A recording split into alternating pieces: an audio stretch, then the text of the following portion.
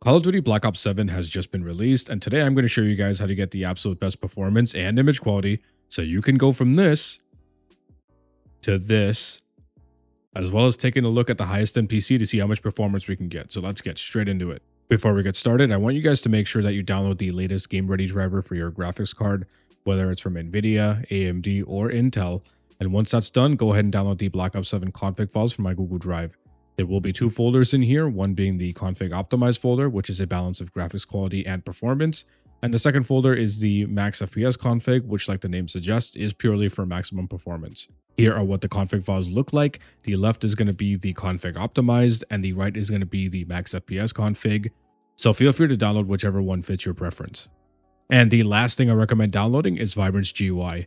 Sort of program allows us to set digital vibrance on a per game basis, so you can make the colors look much better in game. The links for everything will be in the description below, and now on to the good stuff. The first thing we're going to do is go over the search bar and type in game mode settings. And you're going to want to make sure that game mode is enabled here. So for those of you with dual CCD CPUs like a 7950X3D or 9950X3D, if this is not enabled, Windows can sometimes cause an issue where your main CCD0, which is the one with your 3D V cache, um, is not utilized in games. It could cause lower performance and 1% lows especially. So you're going to want to make sure that game mode is enabled here. Generally, even for Intel CPUs, it helps with uh, scheduling. So you could just turn this on. It'll make sure that the priority for the foreground tasks is scheduled for the main performance cores that you want to be utilized for games, and the other cores are utilized for background tasks. So turn this on. And then go to graphics. And there's going to be a list of games and applications in here that Windows will automatically find. And if it does it well, it'll say high performance. So if your Call of Duty is not showing up in here, you could just press browse, find where it's installed. So for me, it's in the F drive, Call of Duty, go to retail, and then click cod.exe here. All right. And once it's added in here, click options. Make sure that you have your high performance or discrete GPU enabled here and not your integrated or power saving or whatever other graphics card you have. So if you have like a integrated graphics card on a laptop or a desktop, make sure it's your actual dedicated GPU in here and press save. Once that's done, go to change default graphics settings. And then the first thing we're going to do is enabled hardware accelerated GPU scheduling. This is important if you play a lot of games with frame generation, especially. And it does help in certain games in GPU bound scenarios, especially in Battlefield 6 and Borderlands 4. This does actually help with performance. So keep this enabled. However, if you do have issues and you're super heavily CPU bound and you want to see if this is causing the issue, you could turn it off. But for most people, you could just have this on. Variable refresh rate is fine. This works alongside G-Sync and FreeSync if you have that enabled in your um, for your monitor or your NVIDIA control panel or Adrenalin. This is basically just going to add VRR to legacy games like DirectX 11 or older titles that don't have native VRR support. So you can just have this enabled, no harm. This one's going to be the good one. Uh, optimization for windowed games. So for those of you who are playing on borderless windowed mode, this is actually going to help reduce latency and it's going to be quite comparable to even full screen exclusive, maybe 0.5 milliseconds trade off plus or minus. But yeah, it's it's it's just, just good if you're playing on full screen borderless and like the alt tab out of games. So you can keep this on. And real quick, we're also going to take a look at the NVIDIA control panel settings. So first thing you're going to do, you could just copy all this stuff if you want. Um, monitor technology, I use G-Sync, but if you don't want to and you want the absolute lowest latency, I think G Sync and V Sync plus Reflex adds like maybe slightly, maybe one milliseconds of input lag uh, measured on frame view. However, if you just want the absolute best input lag, you can keep uh, refre- fixed refresh. The other important thing is shader cache size. So this I would uh, suggest everyone keep at 10 gigs. However, if you play a lot of games, and I mean like a wide variety of games, and they are all shader caching Unreal Engine 5, many multiplayer games, and you have the storage space, keep 100 gigs. And in here, you can just copy the rest. If you do have G-Sync compatible here, you're going to want to enable ver- vertical sync as well. Now, this is not the same as the vertical sync in game. You're going to want to keep that off. But in the NVIDIA control panel, for G-Sync and V-Sync to work properly, like you need to have both enabled.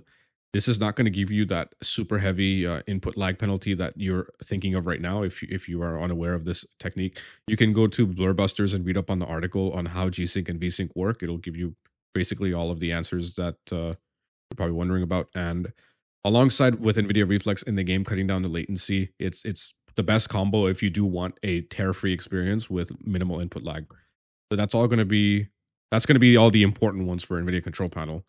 And the only other thing you want to make sure if you're using G-Sync is make sure that it's checked here for enable settings for selected display model. So it's actually working. And over here in change resolution, make sure your monitor's refresh rate is actually the full refresh rate. I've had so many people I've helped had theirs at 60 hertz when they had like 144 or 240 hertz for months or even years. So make sure that this is set correctly as well. And that's going to be it for the NVIDIA control panel settings. Now let's move on to the config files. All right, so once you've downloaded the config files that you prefer, go ahead and open it up. So in my case, it's going to be the max FPS config, but keep in mind that whatever I show you in here is also going to apply for the config optimized, so you could follow along as well. So go ahead and open up TXT0 and TXT1. These are both going to be read by the game, and whatever changes we make in TXT0 have to be exactly the same in TXT1. So for TXT0, the first thing we're going to do is press Control F and type in renderer and click enter. It's going to take you to this thread count for handling job queue command, render worker count. In here, the reason why it's seven is because by default, um, if you have an eight core CPU, like I do, you want you're going to want to put eight minus one, which is seven. It's the same as all the other previous COD games for the last five years. And um, the the way this works is you need to take your CPU's physical cores and minus one. So if you don't know which CPU you have or which CPU cores you have, you could just open up Task Manager in here go to performance, CPU, and you could see right here the cores and logical processors, but you could just focus on the cores. It's eight, all right? So take your physical cores and minus one. So if you have a six core CPU, put five. If you have a quad core CPU, also put five because going lower than uh, five will cause issues for the game where you get worse 1% lows and average FPS. So you're always going to want to put five regardless of if you have quad core or six core. And then for those of you with eight core, just keep seven. It's going to be seven by default when you download it. So you don't actually have to change it if you have uh, eight core CPU. And for those of you who have something like a 9950X3D, 7950X3D, and you're wondering like that that's a 16 core CPU, it is, but those 16 cores are split between two CCDs. Each CCD has eight cores. And so the game only uses one CCD, right? So you're still going to put seven in here, even if you have a 7950X3D or 9950X3D. So make sure that's set in here. Now, the older CODs, uh, we would go in here and disable heaps. But for some reason, Black Ops 7 is incredibly GPU bound this time. And so I've made sure that both the config files have GPU heaps at true. This does help with C- uh, GPU performance because we are GPU bound in this game. So make sure that for whatever reason, if you don't have this enabled to true, uh, make sure it is true the that's going to be it for this. And you're going to do the exact same thing in here. Press Control F, heaps, make sure it's true. Type in renderer and make sure it's seven. And they have actually changed the spot where you're actually uh, going to paste this because before it would be documents, Call of Duty, players, and you'd put it like in here. However, in both the Xbox Game Pass and Battle.net, this is not where the game is reading the config files anymore. So you're going to want to take this, all right, type in run, okay, and then click percentage local app data, or not click, type percentage local app data percentage and press OK.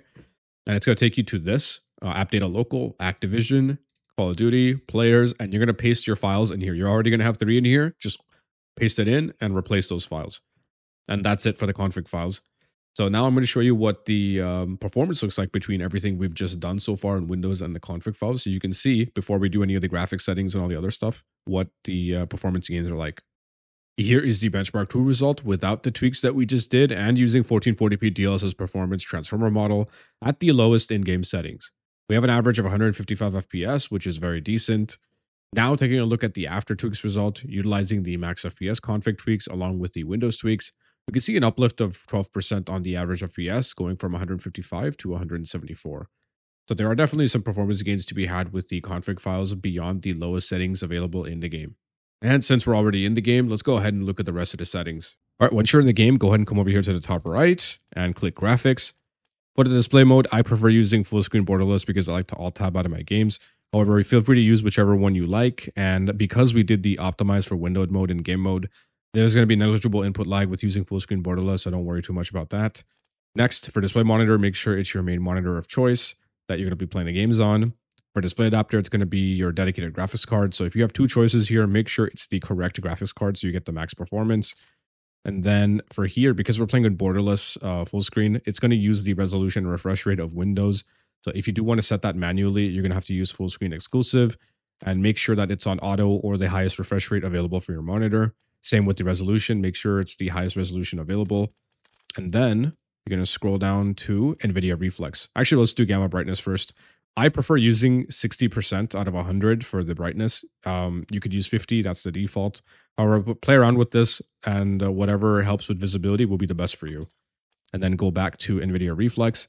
So by default, it's going to be on on, which is good because on is for GPU bound scenarios, which this game is still most likely going to be for majority of us.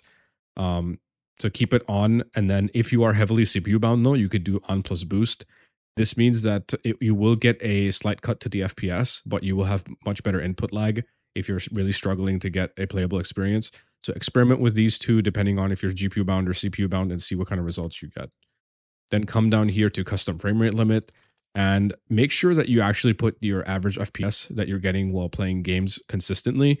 If you want to find out real quick what your average FPS is, just click the benchmark here and run the benchmark tool. It's going to be that screenshot of uh, the results I showed you before this section. And on the top left here, you'll see your average FPS. And then you come back here, make sure you go to show more in the custom frame rate limit, and then just put your custom frame rate here. It's going to help with frame pacing, frame time consistency, input lag, and just it's going to be smoother overall if you lock your FPS. So go ahead and do that here. Menu frame rate, just keep the same as this if you want uh, the smoother menu. And then out of focus, just keep 30 because you're alt tabbing out of the game. You don't need it to be high frame rate. The rest of this stuff is personal preference. I just keep it optimal, off, off, focus mode zero, and high dynamic range off. Then for the quality tab, so for you NVIDIA guys, I highly suggest you use NVIDIA DLSS at the transformer model. This is going to give you a good balance of image quality and performance. And for the preset, I am using performance, which is 720p internally. However, you could use balanced or quality based on your preference. I think performance looks just fine for multiplayer. And if you do want a better image quality, though, bump it up to balanced or quality if you have a higher, uh, more more performant graphics card. For you AMD guys, I highly suggest if you don't have a 9000 series that you use FSR 3 start with balanced and then go uh, below to performance if you need more performance and then go up if you need more image quality. The same thing applies for intel xess start with balanced and then go down to performance and then go up uh, go down to performance for more frame rate and then go up to quality if you need more image quality.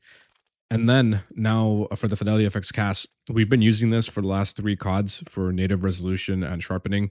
This in this game for some reason looks blurry in motion I don't know why that is, and especially variable rate shading as well. This looks horrendous in this game. I don't know what they did with Fidelity CAS and variable rate shading, but it is not usable in my opinion because as soon as you start moving, even with the example I'm going to show you after this, I'm going to show you comparison between all of the important upscalers. It might look sharp when you're standing still, but trust me, when you're moving around, it does get blurry even at 1440p. So for this game, I highly suggest using the upscaler that your graphics vendor allows or the RTX guys, just use DLSS transformer model. If you have an older RTX card like a 2060, 3060, and you need uh, more graphics performance, if you're GPU bound and you need more FPS, use CNN. This is going to give you a higher FPS output than transformer model. It's going to look slightly worse, but if you're pressed for performance, then that's what you have to do. Transformer model is the latest DLSS 4 upscaler. It has better image quality and better like image retention and less ghosting. So for right now, this is the best um, for upscalers as far as that that goes. And now we're going to look at a comparison between all of them so you can see what I'm talking about. On the leftmost side, we have native 1440p Fidelity FX CAS. Next, we have 1440p DLSS Performance Transformer model. Then we have 1440p FSR3 Performance. And finally, 1440p XeSS Performance. Like I said earlier, I do think DLSS 4 Transformer model is the way to go in this game you are getting highly comparable image quality to even native 1440p, and your performance is significantly higher as well. Keep in mind that this is the performance mode uh, for all the upscalers, so it's 720p internally, and I did this on purpose just to showcase their deficiencies at range. In terms of image stability, DLSS 4 does take the crown in my opinion, even over native 1440p Fidelity FX CAS. However, you should experiment with all of these based on your resolution and frame rate target for the best overall experience. Now, for the config files that I've had you guys download, if you have the max FPS config like I am, everything is going to be set to the lowest settings already in here, which is fine because the config files also um, affect the in-game graphics settings. However, if you have the optimized settings, everything in here is going to be different based on the graphics quality changes. So The, the config optimize is obviously a balance of visuals and performance. So if you do use that config file, everything will be set in here. You don't have to touch any of the graphic settings. It'll be the optimal way for visuals and performance. Speaking of visuals and performance, let's do a final performance comparison using a mid-range PC and a high-end PC. On the left side, we have 1440p default settings, which is what the game defaults to on first launch. Then we have 1440p DLSS config optimized settings, and finally 1440p DLSS max FPS config settings. You can see that we largely kept most of the graphics quality using the config optimized settings, with only a few differences in shading quality and volumetrics taking a hit. In my opinion, it looks 80% as good as the default settings, which were set mostly to high by the game. For the max FPS config, we are losing out on texture resolution, shadow quality, shader quality, and more. However, the performance gains are substantial, especially if you have a more powerful graphics card than the RTX 4060 I'm using here. I do recommend using DLSS4 transformer model and FSR4 if you have a compatible graphics card, as this will give you the best balance of image quality and performance overall. Next up is the high-end PC with a Ryzen 9800X 3D and an RTX 5090. The performance scale is even higher because, well, it's an RTX 5090, but even then, I didn't expect this game to fully utilize it, especially since Black Ops 6 was heavily CPU bound, and it seems to be flipped for this game where both my graphics cards were the bottleneck, even when using DLSS performance. That is to say that overall, this game does perform very well generally, and I do hope that this time there is little to no performance regression as the seasonal updates release. The only way to mitigate the performance loss with each season is to tune up your PC, and that does help with keeping stable average FPS and 1% lows, and especially any dev errors and crashing that can occur. And since we're on the topic of tuning up PCs, if you have similar parts or even the same parts as you see on screen and you're not getting the performance you should be, then hit me up on Discord. I provide PC tuning services and we can go over the BIOS, Windows, CPU, and GPU in terms of overclocking and undervolting to get the most performance out of it, as well as fix any crashing, stuttering, and general instability. If you're planning on building a new PC or upgrading, I highly suggest you hit me up on Discord because I can help you choose the right parts so that you don't bottleneck your system too heavily and also tune it up so that we could squeeze the most performance out of it. Now that that's out of the way, let's move on to the final part of the video, which is improving the in-game colors with Vibrance GUI. All right, so once you've downloaded Vibrance GUI, go ahead and double click this exe and open it up. So this is just going to be a standalone executable file where you can put anywhere. It's not an installer or anything. And once it's open, you can click auto start with Vibrance GUI, affect primary monitor only, and never change resolutions. So this will make it so that Vibrance GUI auto starts with Windows down here in the tray so that you don't have to do anything extra. So what this program does is it lets you adjust vibrance level on a per application or game basis. So I've added a few games in this tray. So this is what people used to do, like back in the uh, NVIDIA control panel method, where you would go in here, click adjust desktop color settings, and then you'd adjust digital vibrance here. The problem is this affects the entire Windows, and you typically would not want that if you're doing a wide variety of productivity or media tasks or whatever. So you could just do it on a per game basis now. So, like for example, for Call of Duty, I have it at 70%. For Battlefield, I have it at 80%. For Overwatch, I have it at 60. And you could just see that it's whatever. It allows a lot of control on an individual game basis. And the way you add games in here is by clicking add manually. Go to where your game is installed. So, for example, for me, Call of Duty is in the F drive, and then go to retail, scroll down to where you find COD.exe, double click it, and it'll get added in here. Double click this, and then set your digital vibrance level to whatever you want. I prefer uh, 70%, so that's what I like. And you can click save. And once that's done, you could just minimize it and it'll just be down here. You don't, once it's set, you don't have to do anything more. And now I'll show you what it looks like side by side in game. On the left side, we have Vibrance GUI set to off or 50%, which is the default, as well as the in-game brightness at 50, again, which is the default. And on the right, we have Vibrance GUI set to 70% and the in-game brightness at 60. You can immediately see a noticeable difference to the colors and brightness overall, which does look better in my opinion. Adding color vibrancy can also improve the perceived brightness of the world, which can enhance visibility. Vibrance GUI also does not have any performance cost, especially compared to something like the NVIDIA Game Filters or RTX Dynamic Vibrance. Those are very good for improving visibility, but they can take off up to 15 to 30 FPS depending on the GPU load, which is not ideal. Now, I've been using Vibrance GUI for almost a decade, and it's still the most efficient and effective compared to anything else I've tried. However, feel free to let me know in the comment section down below if you guys know of anything better. I'm always happy to try new things out and even include them in future videos so that more people can enjoy it. Anyway, that's going to do it for this video. If this guide helped you out, let me know down in the comment section below. And while you're down there, you can help me out by hitting that like button and subscribe so you don't miss more guides like this, especially for Warzone and Blackout with Season 2. I'll see you in the next one.